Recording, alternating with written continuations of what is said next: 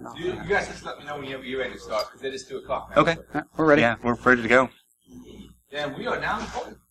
All right. All right. All right. make Everybody, sure- everybody hear us all right? Now we're going to ask everybody to stand up and move close. No. so, um, this is a talk that Brandon and I have basically discussed in person ad nauseum. Um, never presented it, and we're going to do it in a different way. So, rather than have a long set of drawn lecture slides like college, we're actually going to engage a dialogue with all of you. Um, we're going to present what we think is the problem and how we see the solution, but we want to ask you, you know, what are the challenges you're having? any technologies you're aware of to to help us out. You know, you know, Yeah, we really want to kind of get get a dialogue going of what what everybody else thinks the potential solutions to some of the data breaches we've seen over the last several years. You know, as we say in our pro, the problem is you spend all this time and effort putting up all these castle wall defenses. Somebody gets through it trivially, and now you're completely exposed. Once you're on the inside, you're trusted. There- really aren't any controls on the inside to stop people from exfiltrating data or moving within the network. So we've kind of over the last couple of years, Mark and I have kind of chatted about this. Like, you know, how do you stop people from doing that? How do you segment your network properly? So a lot of that just kind of came out of this presentation came out of those discussions over the last several years. So we'll introduce ourselves and then we'll get going. So, I'm I'm Mark Jaques. I've been doing a lot of uh, security engineer work for uh, a number of years. Um, as you can see, I, I don't have any friends that eat salad. Uh, Simpsons reference, if anybody gets that. Um, but yeah, so I've worked for a number of defense contractors, um, civilian space, D- Department of Defense, things like that. Um, we've seen a lot of different networks. We've audited a lot of different networks. We've done a lot of CNA efforts, if anybody is uh, familiar with uh, that kind of work. So that's kind of where we've seen we've seen a million ways to do it wrong, and we think we have a better idea of what the problem is. So, but we definitely are open to you know talking with you and seeing what your issues are and what your experiences are. Yeah, so I'm kind of in the same boat. I've done a lot of IT security work. My background is in uh, digital forensics, uh, kind of breaking down malware and seeing how things work and what happened and where and how it worked, and looking at uh, network traffic flows and trying to figure out, you know, somebody got in this box and they moved data from here to here, and then they got in this other box and they moved data out to this other place, and then it got exfiltrated to China. So, um, traditionally, the uh, IT security has always been focused on having strong castle walls, put up a big firewall, maybe an IDS or a spam filter or two, and you're secure. That's kind of been the going mantra over the last decade or so of, well, you know, we have firewalls, so we're good. It's configured in any, but whatever, it's there, and the auditor signed off on it, so we must be secure. So, idea is you put up a bunch of walls in a moat, and you keep the Black Knight out, and everything's good. But it's pretty trivial to get past those defenses.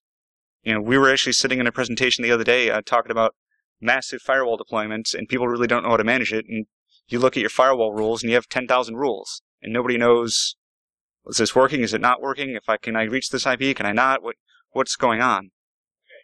And now you're in an organization. You have 10,000 end users. You have 15 firewalls in between everybody. Nobody knows what the rules are. Are they permissive? Are they too permissive? Is it too? Nobody knows. So firewalls just aren't going to cut it anymore. So, um, our problem is firewalls aren't going to cut it. Just having a strong outer defense isn't going to cut it. What do you do? So, our solution is you start segmenting your network and start distrusting some of your end users. You know, I don't know how many people have a lot of end users, but your users click on any email you send them. You know, they're going to visit some weird web page, and all of a sudden they got Angler exploit kit on their box, and they're starting to you know, download CryptoWall. Now you're locked. You know, you got a bunch of users locked out of their locked out of their computers all day. It's an IT nightmare. It's a security nightmare. It's a help desk nightmare trying to fix everything. And now you're losing time and money, and the business just you know that's not going to be tolerated anymore. So our concept is, why don't we just stop trusting our users? Put users on a complete, either completely separate VLAN, put them on a completely separate internet access. Just have Comcast come out to your office, run a business line. They're not even cutting your corporate network anymore. So you can just run that as if it's the wild, wild west. Have your users VPN in and out as needed to get to whatever core services they need. So that's kind of the first of, uh, I did brainstorming ideas of what we thought about how to like s- stop trusting your users. Just because they have a device that's on your network doesn't mean that they're trusted. If your users are in a bring your own device environment, or they bring the device home, or they're set up in a coffee shop, they're downloading whatever, they're not even on your network anymore. There's no any protections you did have are now no longer there. And then they bring the device back onto your network, and it's infected with all sorts of junk. And now you're spreading that to your corporate network. So what we're basically proposing is you put your walls up around your critical IT infrastructure and your users are not that. Your users are the vulnerability. They're the weakness to your network and you should no longer trust them, period. So the key is, is you essentially put up your perimeters. You make people VPN into the systems that are specific to them doing their job functionality, and you monitor everything through an individual port, usually a web. You know, everything's going to a web-hosted application these days, so it's trivial to put up a perimeter and only authorize port 80 and port 443 as access, and then you can secure everything that way. You don't have to worry about somebody connecting to your network that has a vulnerable system that is now phoning home to, you know, some malicious, you know, end person in China who now can just transgress through your network and go, oh, look, there's a server over here that has all this information. Think about it. Sony, any of the major breaches, Sony was probably the biggest one. Sony, they got access to the CEO's email, they got access to movies that hadn't been released, anything like that. And it was all because somebody was able to break in likely through some spear phishing activity, and then they were able to go anywhere because they were considered trusted. They have no internal defenses. So what we're basically saying is stop trusting the people that are going to make you vulnerable and go forward. So that that's kind of our, our proposal. Now we want to engage in a dialogue with all with all of you. We want to know what are your thoughts, what are your experiences, what are your biggest challenges in managing and securing your network. So does anybody, you know, have anything that they'd like to yeah. So we'll start with you. Um, it's the, the, the information I'm getting from my sources is saying that spear phishing and fishing in general is the major issue. All right, so you're saying uh, spear phishing is the biggest issue that you're seeing from your sources? Yeah. Okay, I just want to repeat it for the Yeah, for the People people, looking- online. So online. And um, I like what you said about, yeah, we'll stop trusting the users, but we've got to get them to the resources and be able to keep it up, uh, keep them on it. And segmentation is good, but when you get into some, you know, you're getting into larger networks, man. I mean, God, how are you going to keep these segmentations up? Do you got any type of scheme that you've come up with how to handle yeah, how one to track it? Yeah, and, and the for the people online, it's the question is is how do you come up with a scheme to limit or at least track, you know, what your network segmentation is? And actually what we're saying is is find out what is important, find out what has your information that will if this is if this is leaked or if this is compromised in any way, your business is no longer functioning. So identify, it's all risk based. Identify what is the most risky information, what you actually need to protect, and put all your efforts on protecting that. And then outside of that is where you have your untr- untrusted networks and your users, you know, they, they connect through the internet rather than through an internal network that doesn't have the adequate protections. But you're also still going to have to rely on, on the firewall to do some level of that. But you no longer have it just on your border. You're protecting what is the most critical of your assets. And it should actually allow you to pare it down to a smaller amount if you consolidate it into multiple data centers, if you have a large organization that needs redundancy, things like that, or you host it in a cloud, you know, cloud platform to try and allow you to, you know, at least have one central area that you know you have to protect. That's, that's what we have, but it, we're open to other technologies. If anybody has any other suggestions or thoughts on that. um, the organization I work for, we've uh, we've got about 400 employees, but we've got about eight and a half thousand endpoints because we have about 100 different web applications. We're already doing something very similar to what you suggested. Um, the production applications are completely segmented off. You have to, in order to work on them, you have to actually physically plug into the switch. They have their they have their own internet connection. The main internet connection for the rest of the, of the agency is run, but we have I think it's about 85 different VLANs. They're all segmented specifically based on what your what you're supposed to do. So what you're saying, you have a, a highly segmented network that's kind of users are grouped based on job function, based on what they need to get into, and your production stuff is more or less air gapped, unless you're actually physically uh, hardwired into it. Yes. Okay. With the exception of the SysOps team. The SysOps team runs both. Uh, basically, they, they, they monitor and run everything for both the production and the internal organization. And so they're, they have their own VLAN, which has access to everything. But like the developers, the developers can't touch marketing. They're Yep, and that's one of the- One of the thoughts we had is segment everything by job function. There's no reason, if you look at like an, an accounting firm, they have segmentation of duties. So the people who run accounts payable and the people who run accounts receivable are two different people, and you don't want to ever cross those streams because people can just start paying and receiving money back and forth. We have to do the same thing with the, with the network.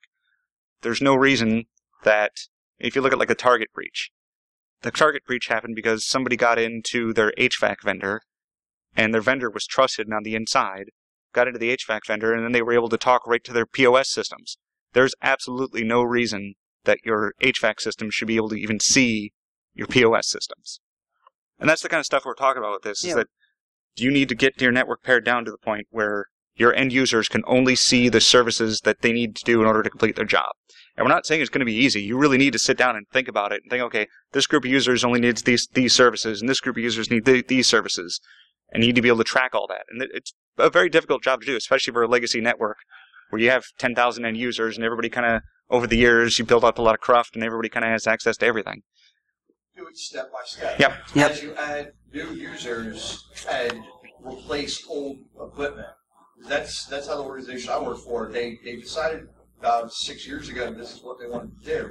They knew they couldn't just sit down, examine everybody, and implement it. They implement it step by step. I mean, it's that old cliche: the journey of a thousand miles begins with a single step. Mm-hmm. So as new new employees came in, they were added to the VLANs that were put in place.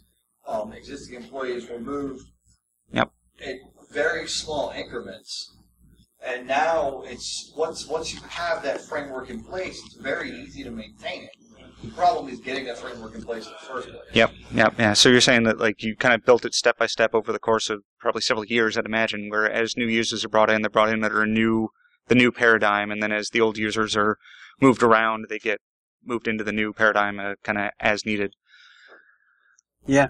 Um, and you know, one of the things that we've talked about, and we're we're not here to sell people on cloud services. That's yeah, we're trying uh, to keep an- this uh, technology agnostic But as much as possible. having somebody else host your email does take a, a substantial amount of uh, resources away from y- you know you.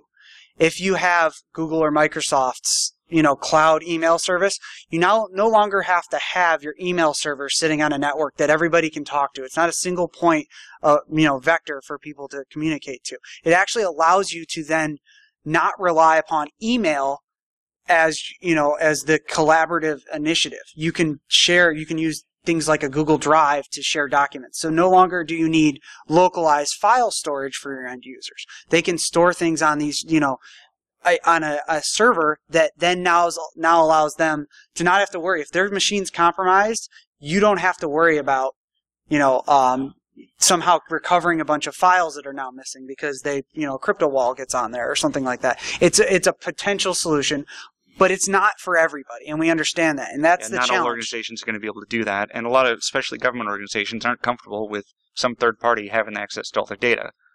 But Google has been certified under FedRAMP to be able to do some of this stuff, and they will stand up a separate uh, instance of Gmail or whatever for various government clients. And there are several government agencies out there that, that are doing this. Having worked for multiple government agencies, they would actually be far better off letting someone like Google. Yeah. And we've actually seen the same thing. Um, yeah. That, we see the challenges of them being able to man, manage their own, even just spam filters, things like that. You know, when you have an entire collective of users using the, a product, you get a lot more insight into what spear phishing attempts are. You get a much better, you know, I guess, vision into what the attacks are coming. They can, you can stop them across a global situation then, and you can rely upon somebody that honestly, if Google or Microsoft gets compromised, you've got much worse things. I mean, they're they have an inherent vested interest because it's dollars per second if they have to shut down their service. They're going to do a much better job in a lot of I mean, situations. never mind the embarrassment of them having to explain to all their customers, eh, sorry, lost all your data. What are you going to do? Yeah. It's Just ask OPM. Yeah, Yeah. exactly. Exactly.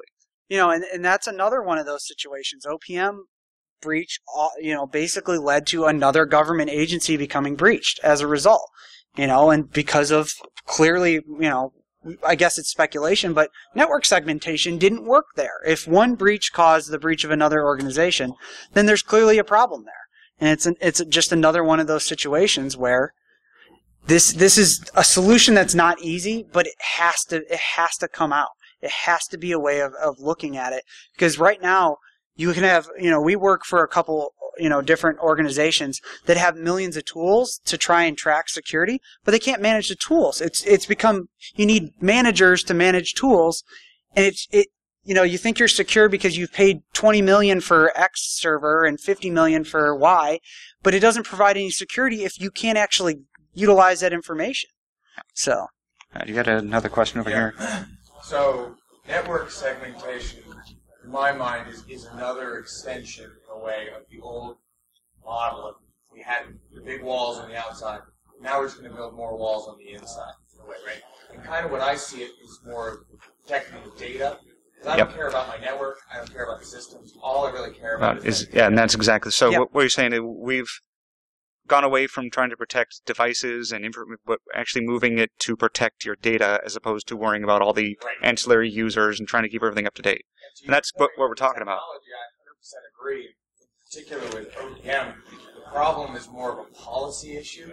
So if you if you assume that you will eventually be hacked because it's too easy, Yeah, for the assumptions you're going to be hacked. Yes. What to maintain? And OPM has records from the past that maybe they didn't necessarily need to hold. Mhm. Um, and I think a lot of companies are doing that, like because of big data, they want to know everybody's credit card, home address, and mother's maiden name. Maybe they shouldn't have that, or they're, they're risk breaches. Yeah, and there's certainly a risk-based approach to some of this. That you know, you look at like Target; they were using credit card numbers as unique identifiers for individuals, so they can then sell them more stuff. But because of that, they then get breached, and all this data walks out. Now, I- don't know how much money they made off of selling them additional stuff. Maybe it's more, and they just don't care. You don't know, but that's something people need to start thinking about: is what's the value of having this data versus the value of not having it? It's an organization. I we uh, last year we had about nine billion dollars of credit card transactions run through all of our various apps. And what he's saying is very important, and they addressed that just actually recently, within the last year. And the policy that was decided is you have to maintain these records for fraud's sake, but they don't have to be live. Right. Yeah. So what happens is every three months, all of the transaction records get dumped into basically multiple copies on multiple hard drives, basically. I, I use the term hard in. Uh, so it's kind of cold storage. You don't just have a stack of hard drives, Yeah. but they have redundant backups that are entirely offline.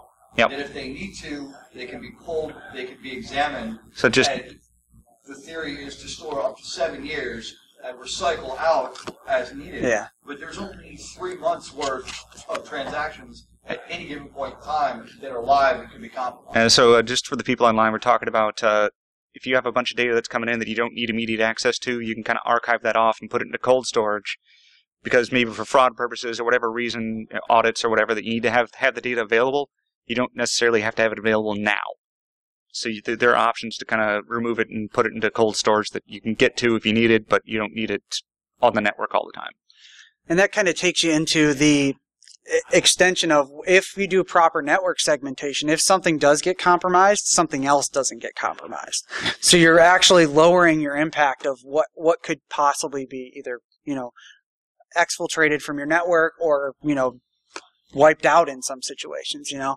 You, you basically, you know, if you segment your data off properly, you assume that if you get compromised, your compromise is going to be so low or the, the level of impact to your organization is going to be low enough that it may be more, you know, your risk on that might be low enough that it's an acceptable risk as an organization, you know, for that particular segment. You know, it gives you a, a better sense of security through the complexity of making that data accessible. So I'm just going to give you an example. We talked about the credit card data. Um, I used to work for a very large retailer, uh, trying to get them uh, PCI compliant, and all of our stores that were out there were again generating tons of credit card data. I mean, we were doing a significant volume of credit card data day to day, and that data would come in, and we started looking at like, okay, where's the data coming in? Where's it going to? What's the data flow through the network? And I spent probably six months trying to map all that out, and eventually just threw my hands up literally data was coming in off the register roll, off the uh, journal tape from the registers. Every department had access to it because certain departments would need, you know, sales needs to know what what's sold, and this other company needs to know what's sold, and this other this other division needs to know, you know, inventory numbers, and like all this different data that's contained in these uh, uh, journal registers. Just anybody who needs it just got access to it, and they didn't really think to pare it down. Like, okay, well, you only need this specific kind of data, and you only need this specific kind of data. So when we looked at it, I mean, th- this data was just all over the network, and there was no real good way of mapping it out because everybody had access to it. And that's the kind of stuff we're talking about, is you really need to think about what kind of data you have, who has access to it, and how do you pare that down to the minimum amount necessary for people to get their job done. I think also that a point needs to be made that without a doubt, this has you have to accept this is going to be a complete and absolute continuously evolving process. Yep, You absolutely. It will be a complete and a, a absolute continual process that is always ongoing.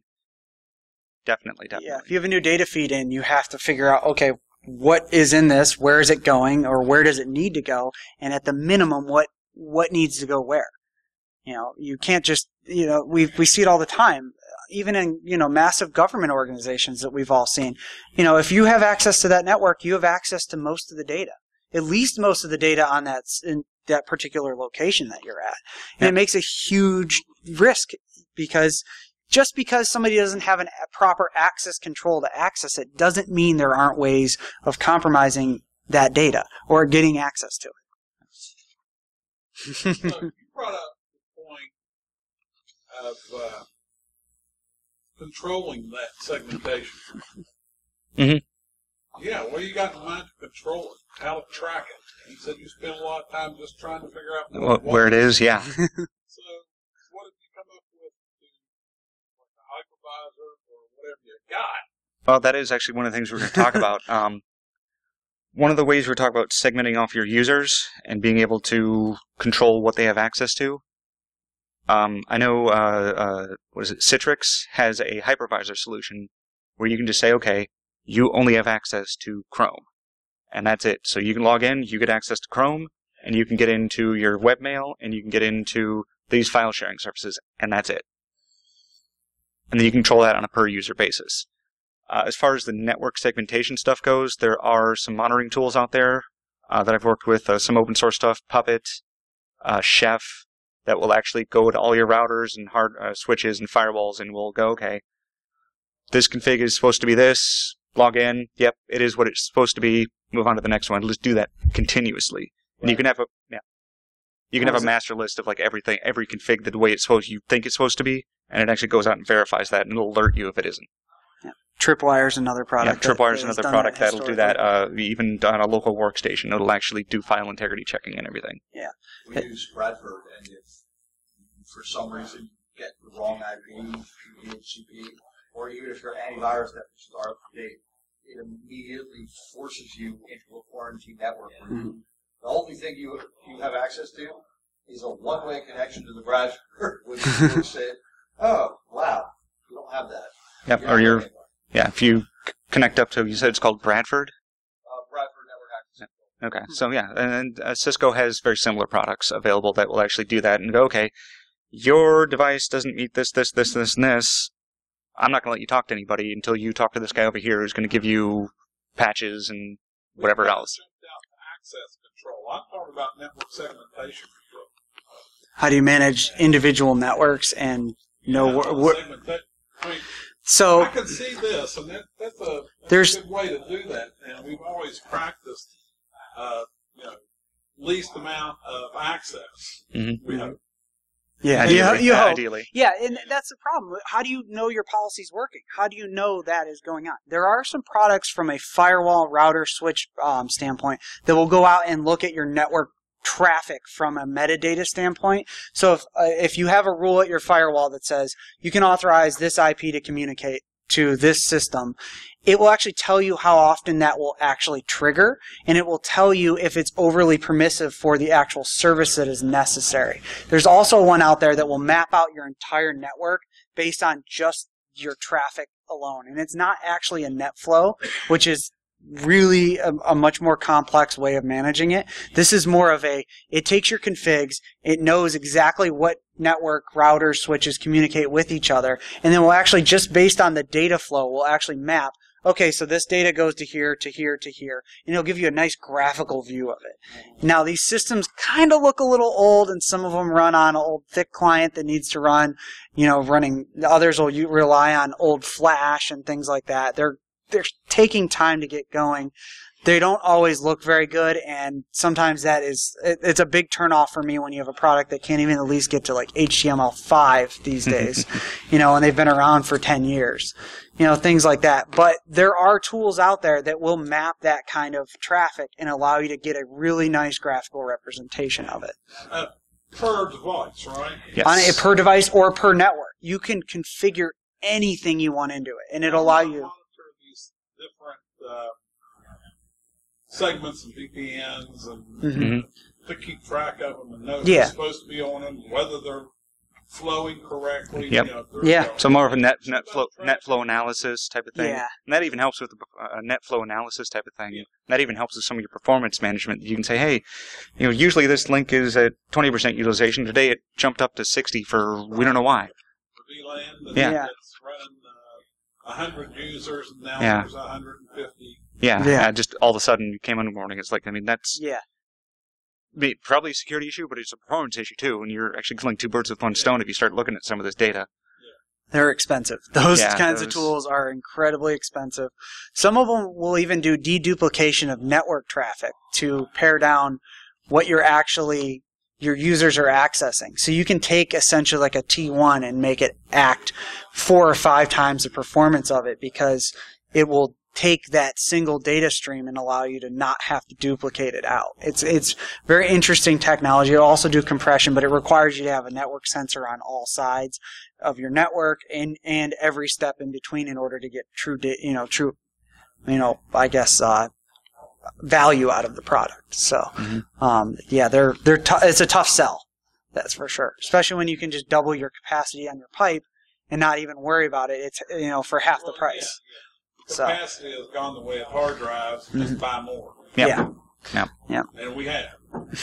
Yeah, that's for sure. and it's it's an issue Mhm. because a lot of that I don't know about these other guys, but probably thirty percent of my capacity is adware Mhm. Yeah. Oh, definitely. Yeah, Yeah. we see that a lot. I mean, this is getting to be a, a, a problem. And that becomes a security issue because these ad, ad networks don't care. They are run by the lowest bidder. And we They're I see them get all hacked time. all Oh, the yeah. time. We, uh, it took us a, about a week to track down the Gazette, Mhm. who was rotating one ad out of every 10, Yep. Mhm. 10 ads. Oh, it took us forever to find that. Yep. Figure out what I have the exact same problem in the networks I manage that so much adware that comes out of there. And it's just, if you want to look at uh, somebody's last 10 minutes of their web surfing, it's 400 websites, even though they've only visited maybe two or three. Right, two clicks getting that. Yeah. Yeah. So when you talk about network segmentation, is have you seen a way to get that segmented off, or just completely stop it? Yeah, our solution is to get, get your users off your network and let them have the wild, wild west. And Just if they a- need access to services, you can VPN in. That's Yeah. the only thing we've really been able to come up with to manage that because it's you're not going to train your users to stop visiting websites. You It's can't. That just- was the point with the phishing. Yeah. Yeah. Yep. just can't- we You can't. Control them. Yep. That's We've educated and educated. Yep. Yeah. It's just it- them and everything. Yeah, and Yep. that that's one of the challenges that we have seen, but if you do network segmentation and their device does get compromised, it's not as big of a deal to, to triage that. You can go, hey, your your device has malware on it. We're going to wipe it because you know what? There's nothing on it that we're really worried about. Yep, Everything's if you, over if here. If you go up to the cloud for all your data, if you use Google Drive, you don't have any local storage. You no need for it. And there's free two-step verifications mm-hmm. that you can do for access control on these things. You know, Google Authenticator is an open product, or you can do the universal two-factor f- from FIDO, which is a little computer key that you sit, you plug it in. Yeah, we all use one, these yeah. now. They're These very small. They act like a USB key. keyboard. Yeah. And you plug those into your computer, and it will authorize that session. But the second that session is terminated, when the computer's off, if there's any compromise of the session at that point of the computer, it terminates the session to your critical data. And What's the cost on those? They're like thirty-five dollars each, but you can get them in a bulk order. yeah, uh, on 'em. YubiKey is actually really cool. We uh, we were at Black Hat this year and sat down with them for a little bit, and they're Yeah. willing to work with anybody for Yeah. bulk bulk prices. I mean, I can do like a dime. Yeah. That's, That's about it. But there Yeah. are software things. You know, Google Authenticator with a software token, it, it's free. You can implement yeah, that. Yeah, that It's not, You know, it, all your users have to have a smartphone, or there are some text message based ones, or they can, if you don't have, if you can't receive text message, which is a little rare these days, you can actually have them just call you with a six digit code. You know, there Yeah. are ways to get around that. I've seen some government agencies that are actually implementing like if you log in, it'll phone call you and go, okay, here's your six digit code. Now you can log in. Yeah. Some I my uh, aunt worked for an organization was doing that, and it was just in market research. You know, It- there there are things out there that you know. So that what's work. some open source tools for segmentation management? Uh, Application management. Um, so I have a suggestion. yes. Alright.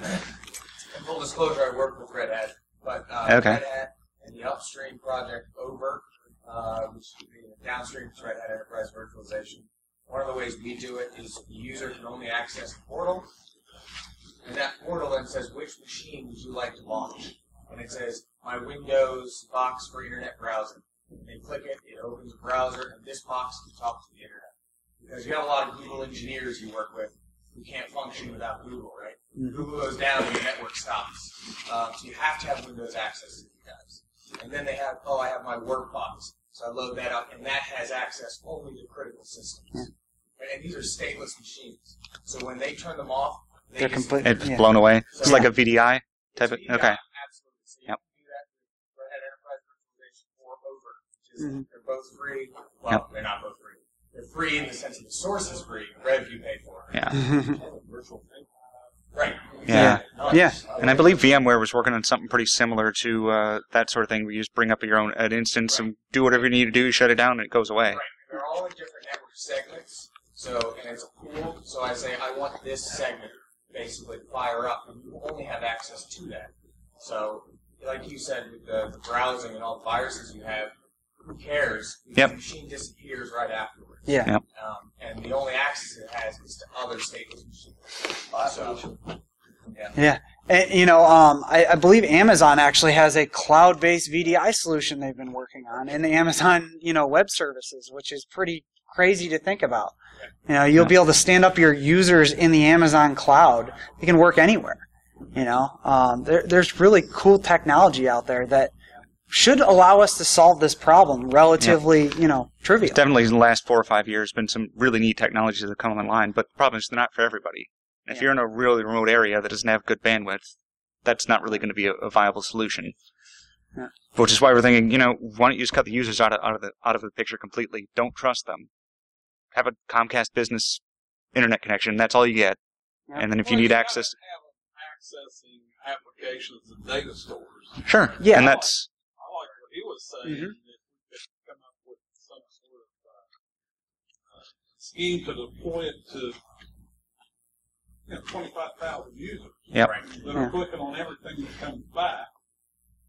So there are people who are doing it at the 10,000 user level. Mhm. Um, so, Yeah, hell yeah, man. Everybody Yeah. Talk about not clicking on stuff. You know, I, I I wonder, has anybody experienced a technology that will actually wipe out a, the hyperlink in an email? That j- force somebody to copy and paste it, something like that. They're probably going to be less likely to actually click it. You know, things like yeah, that. I, You know, well, you, you can't click it, you know. Yes. yeah. Yeah. We have the network disabled, we can't. hmm Yeah, that, that's something I, I haven't seen. Mm-hmm.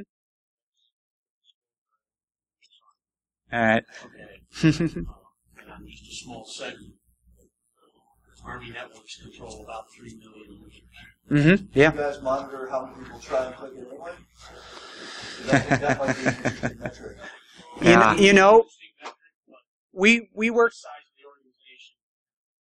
I- our- we've worked together at three employers now, um, and the previous one we worked on trying to come up with a case study that would allow us to create fake phishing schemes and then actually use demographics based on you know age and all that to try and you know anonymize it from the who you know is actually clicking it, but to give you some of that insight to you know. And then of course it was like, no, there's no way you're going to do that, you know. Yeah, not Yeah. here. Nobody wants to know the answer to that. That's the problem. military networks were that way for years. Mm-hmm. For years. Yeah. Whoa! I knew I was going to do You that. did that. Yep. I did it last time. Uh, military networks has for years not trusted the users. But at, at some point here in the last 10 years, we got into, you know, we have to trust users to a degree. We have a huge insider threat problem hmm um, on, on a grander scale Mhm. than some.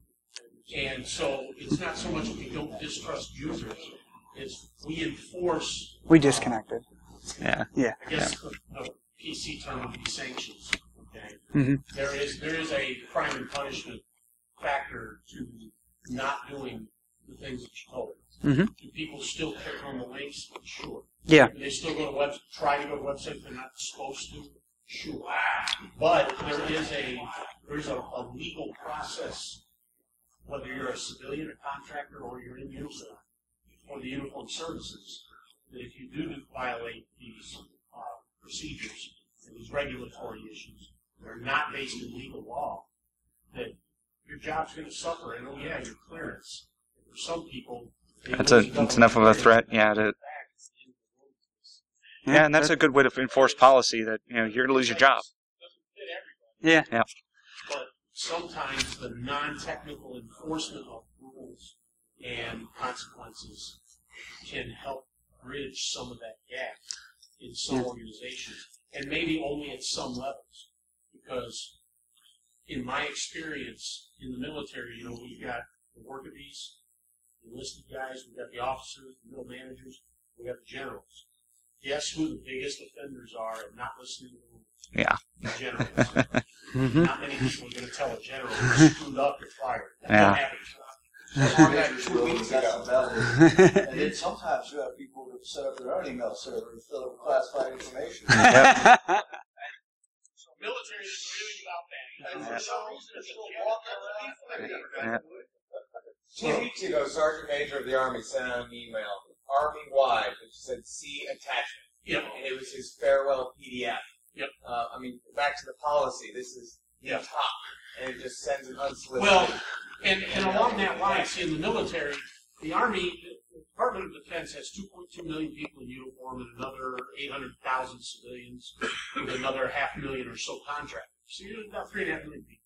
Yeah. Um, the Army controls about 60% of those networks worldwide. Um, and in the Army, we have one large organization of several thousand people whose sole purpose in life is to operate and protect those networks. Mhm. And they have branches, and just like the Army, it's a tiered structure and all Mhm. that. The organization I work for is kind of out here in this, yeah, we don't know what to do with this, you're throwing the corner. Every organization gets a set of rules to follow. If they don't implement them, and they don't get caught, nobody knows. Yeah. But the rules are published, the consequences are published, those are enforced.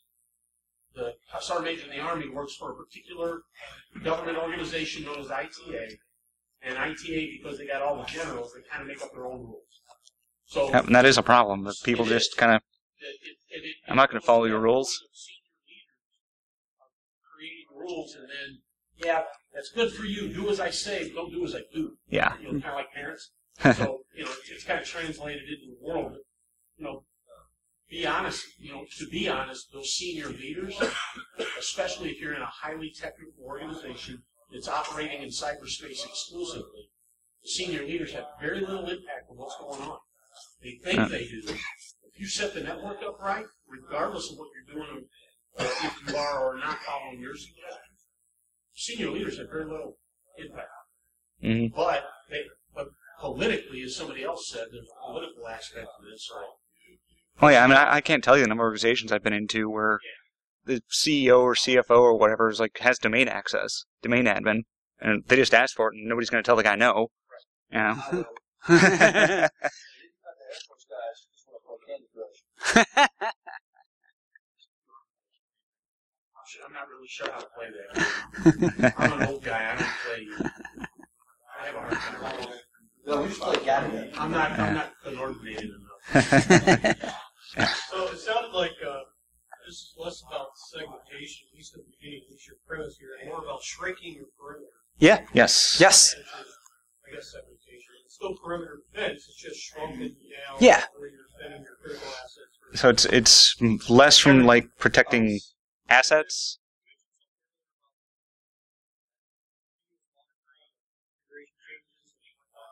Have you looked into federal program for continuous? Uh, the DHS CDM. CDM, Oh yeah, Yep. yeah, we're plugged into that. We are very much plugged into that. Yep. Process there. It's not up, not up and running on It's- the ground yet. Yep. Yeah. It's got the same concept. Yeah, we actually work with. Uh, Booz Allen was given the contract on that. We actually work with them pretty regularly. Yeah. They're. We won't say anything. Yeah. Um. Let me just make one more comment to what you guys are saying. The gentleman here kind of said, in my experience in the military, it's called layered defense. yeah. Yep. Yes.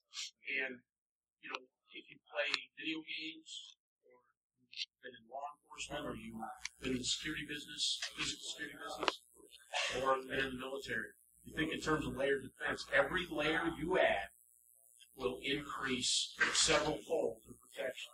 Well, just the cost from the attacker's perspective to. Well, especially Yeah. if you're alternating, you kind of think as a goal.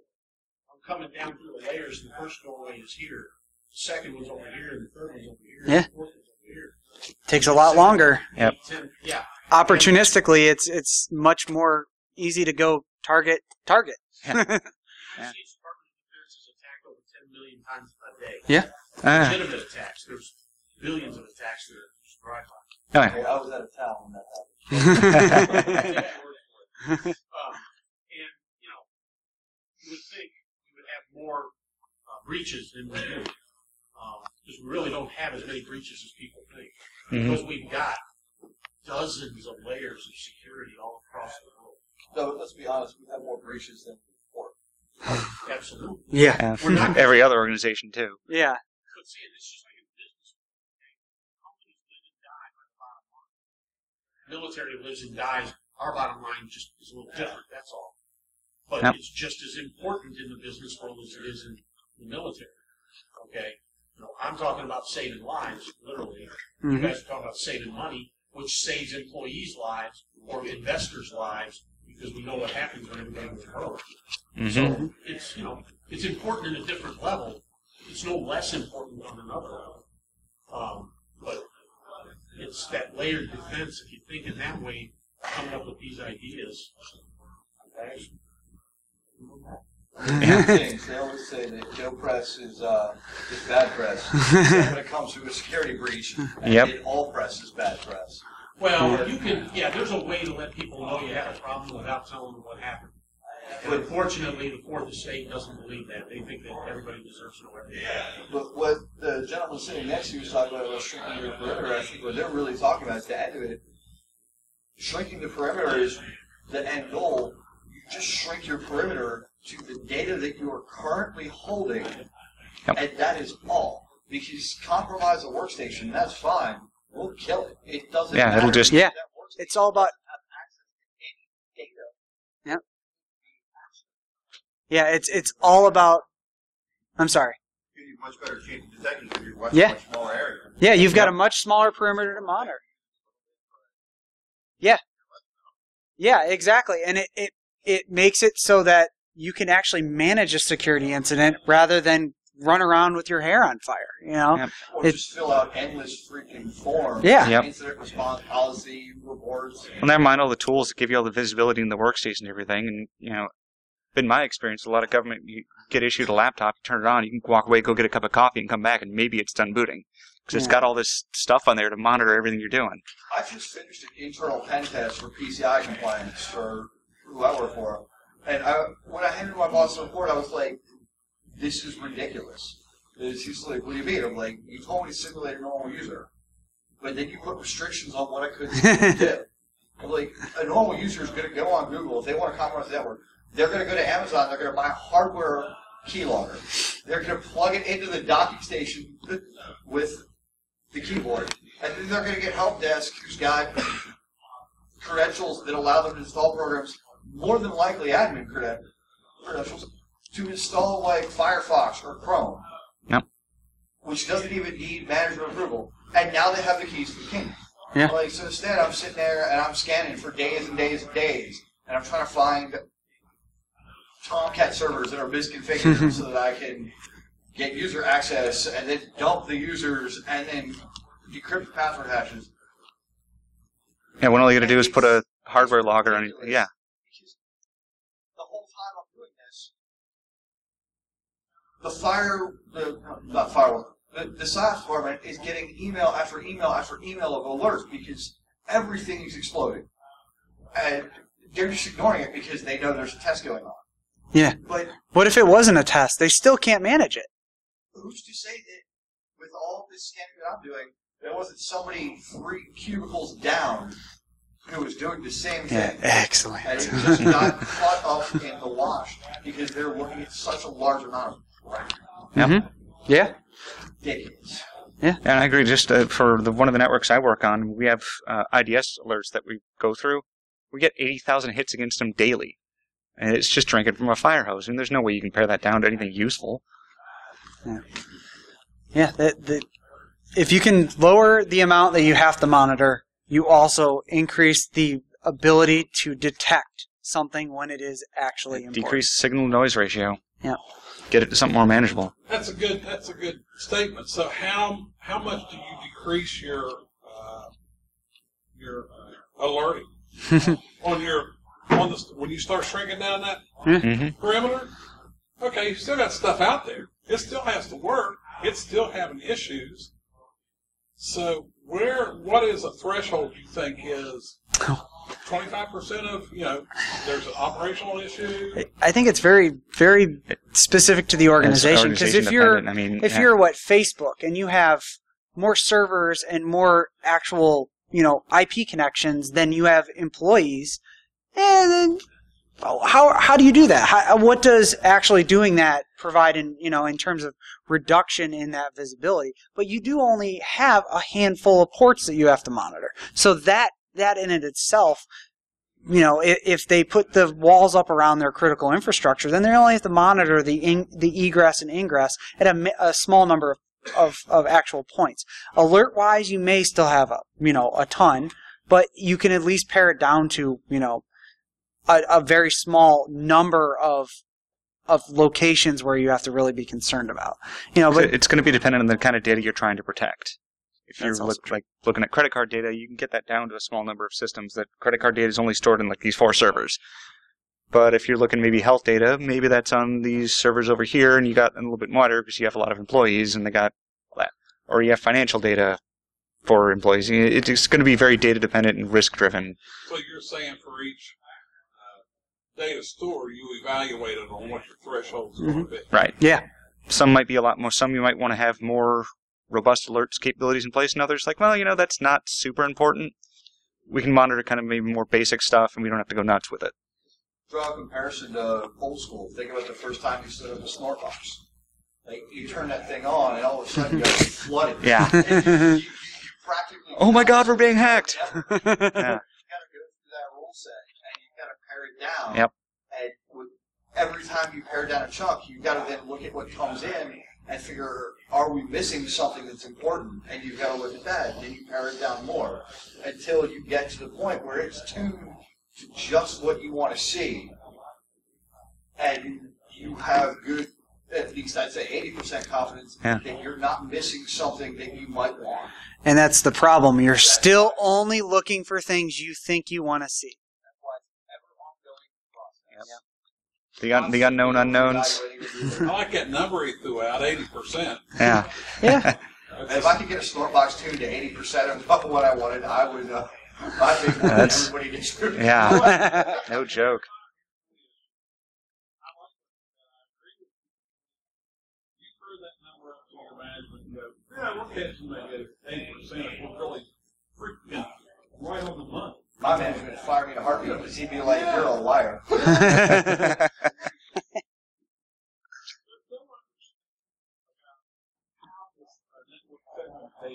how you're going to threshold, and the percentage of protection that gets to eighty percent. They don't understand that. Yeah, like I I just threw that number out as because in my mind, if you could tune out and get eight and be guaranteed to get eighty percent of what you're looking for, you would be so far ahead of the game. Like I, I would say uh, we've been, like I said, we've been working on this very similar to what they're talking about for about six years now. Yeah. Like, we've got everything, but even just this last week, when I was doing the testing, like we have, we, we run Imperva as a WAF, which is a great product. And it blocks cross-site scripting across the board. Boom, did it, boom, did it, boom. I hit a web server,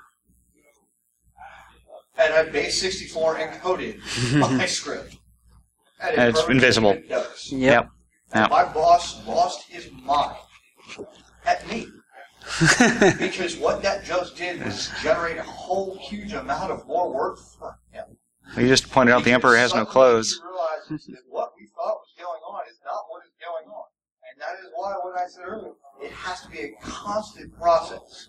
You have to keep on hitting it and hitting it and hitting it. And every time you think you got it to where you want it, uh, Yeah, the shoot goalpost just moved. Yeah, the start goalpost just moved. scratch. You already were. Yeah.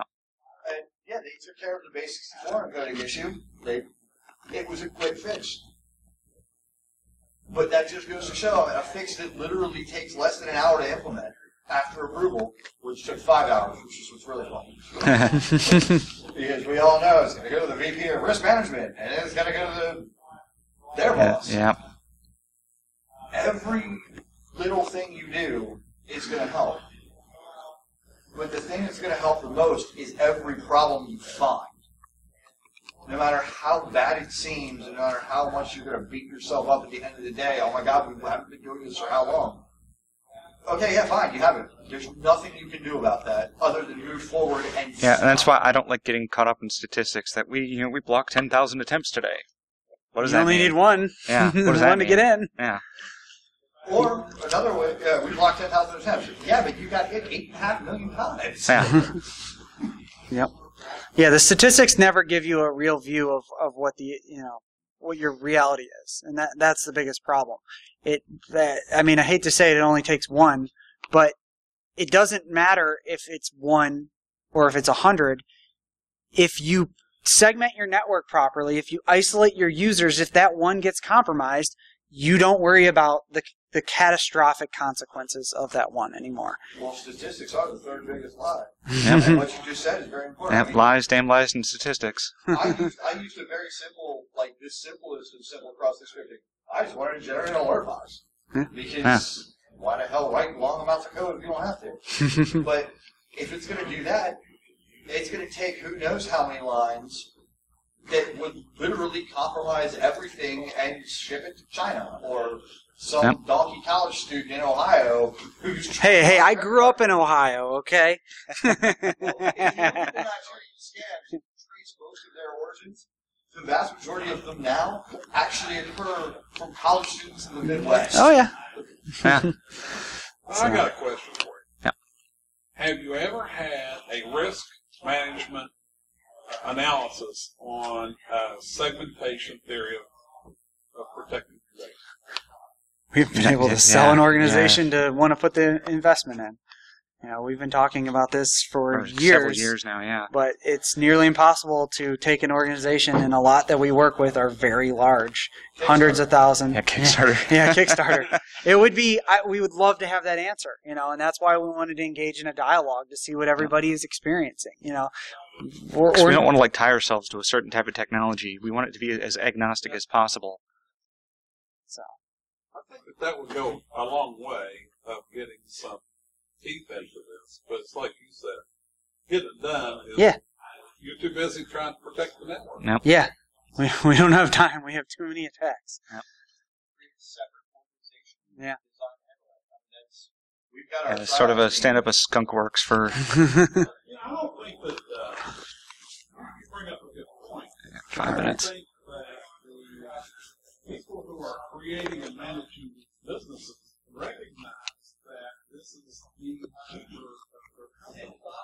And the organizations is being able to properly handle the technology. I'll do you one better.